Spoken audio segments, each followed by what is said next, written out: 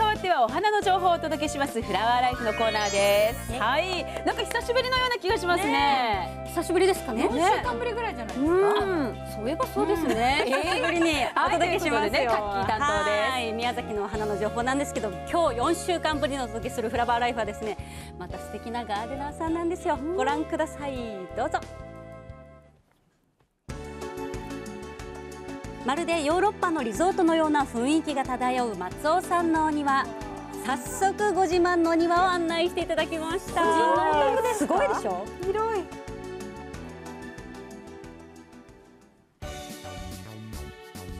わあ、わあ、めっちゃめちゃ素敵ですね。すごい。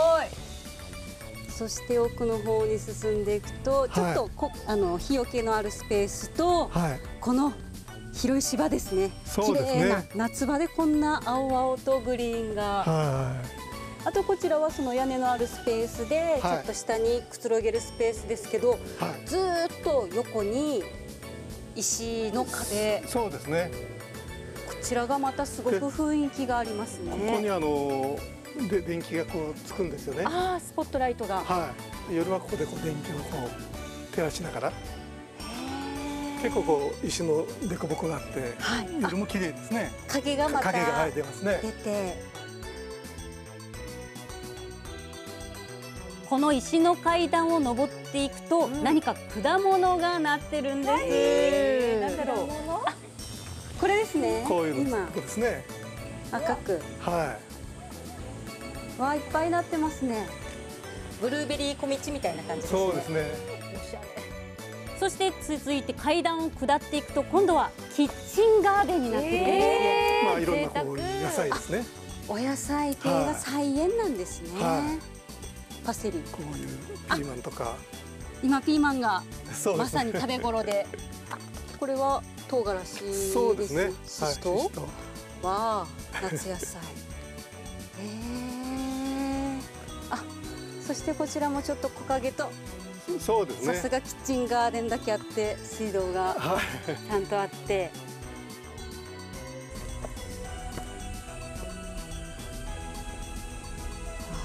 そしてこちらの方に来ると、はいちょっと水が流れてここはちょっと和っぽい感じですねそうですね固。定層があって、はい。今黒メダカが泳いでます。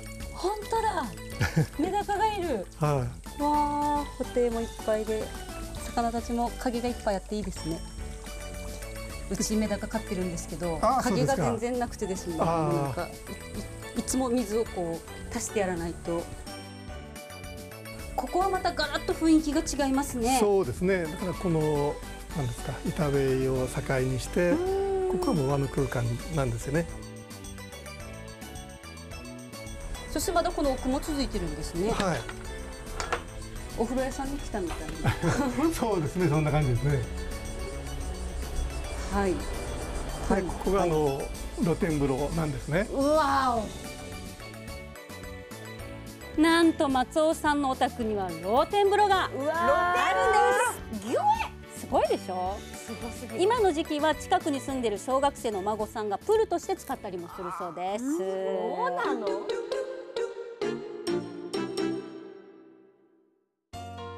私もここに来た時にはい最初に広さにびっくりしたんですけれども、でもすっごく素敵なお庭ですねあありがとうございます。あの石使いがとても印象的なお庭だなと思ったんですけれども、あのお庭作りを始めたきっかけこういったお庭にしようっていうのはどういったところだったんですか？そうですね。あの京都の方に、えー、16年間いたんですよね。はいあの仕事で。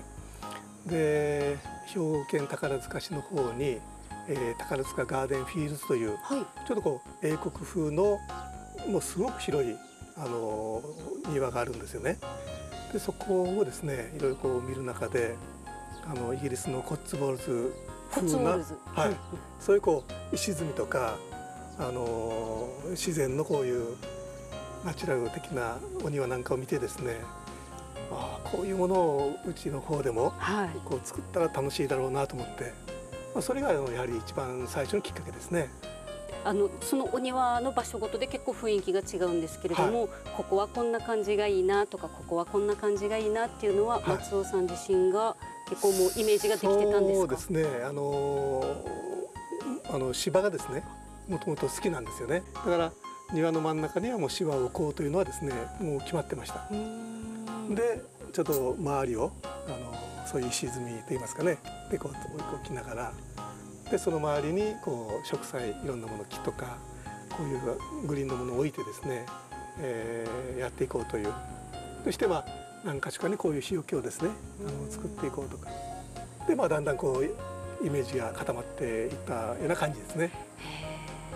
普段はい。こう日々のお手入れってどんな風にされてるんですか？あー？日々ですね。あのーまあ、そんなにこう手のかからない庭になってるもんですから、はい。あのー季節季節でちょっとこう花を植えたりという感じでそんなにあの手はかかってないと思います。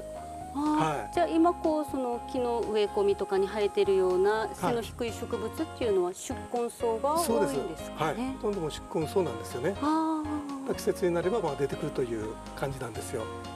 枯れた時にまああの刈っていって、あ、うんで季節にまた出てくるという一番いいですよね。ええはい本当ですね。い手がかからずに、でもね季節ごとの表情があってそれ、がもう楽しみですよね。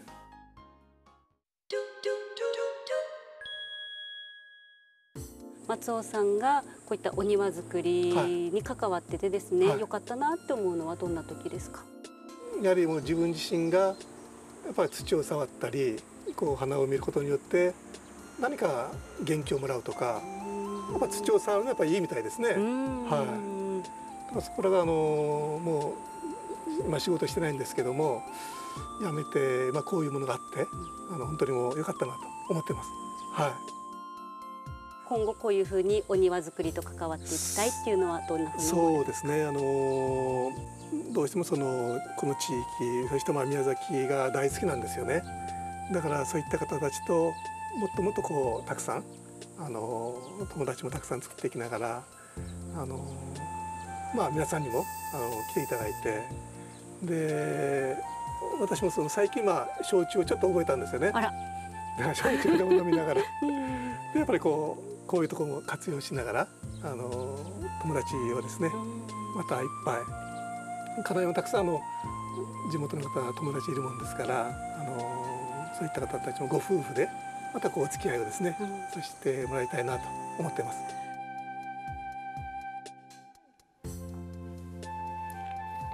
リゾートに来たような気分が味わえる素敵なお庭でした。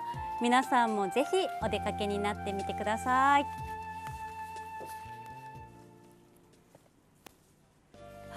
かがでしょうか？すごいでしょう。なんか本当にこうリゾート地のちょっと南仏とかのホテルに来たようなねねリゾートホテルに来たような雰囲気でしたけれどもすごくあの真ん中の芝生が綺麗で印象的だったでしょう。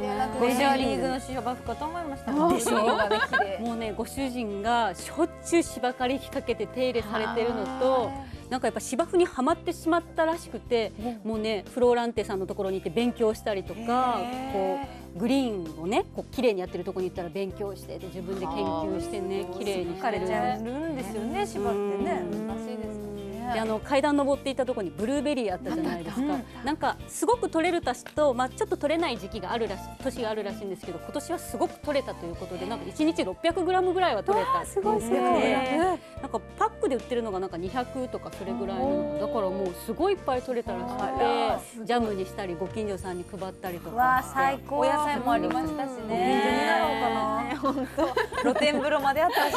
あの露天風呂ね本当に広いの、ね、上ちょうどカッキーさんのなんかそういうシーンがあるかなと思って。ちょっとほら水がねはなんか 張ってくださいっていうのもちょっと、ね、ちょっとね。